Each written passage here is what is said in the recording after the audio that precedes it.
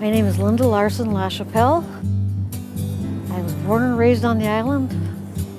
Lived here from 1944 to 1965. This was the original site of St. Paul down here. My parents were basically dairy farmers, but we also grew uh, corn. They ran 42 head of dairy cattle, and after the cattle were sold off, then it was soybeans. And the land down here, is, because of all the flooding over the years, it's extremely rich. If you look, the dirt is very, very black. We didn't have much, but we had all the relatives loved coming down here because it was a freedom they didn't have in town. The only thing different is we didn't have what the city people had. We didn't have running water. we didn't have indoor plumbing. But that didn't bother us because we had so many other things. Before the sewage plant filled in the creek by our house, we used to be able to go out fishing right outside the door. My mother would go out and catch breakfast. And all winter long we was, we'd skate. Didn't have that in town.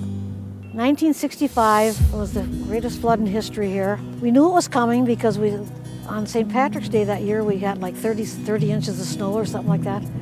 And um, we didn't have a January thaw. We knew we were going to be in trouble because it just, when it did melt, it, came, it hit fast.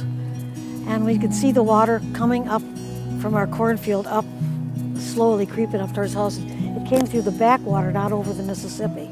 We'd put everything up in the attic of the house because we thought it would just get on the first floor. Then they said it would be the worst flood in history. So my dad and I spent, and other relatives came and spent the day.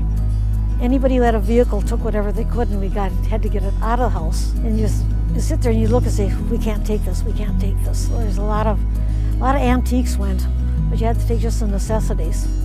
And then when we came back, when the water receded, my dad anchored the boat to the chimney of the house. That tells you how deep the water was. And when we came back, there was nothing left. It was destroyed. The house was over 100 years old, and it just couldn't take one more flood. And we couldn't, I don't think, take one more flood. to this day, it hurts. I looked around. I looked at my, my dad said, you know we can't come back. I said, yep, my life is ending as I do it. You spend 21 years of your life someplace, all of a sudden it's gone. And there's nothing you can do except say, start all over again. It's hard to see it now, but it was very, very beautiful. And that's why I'd like to see this place go back to that, where people can come down here and enjoy the freedom that we enjoyed as children and as adults.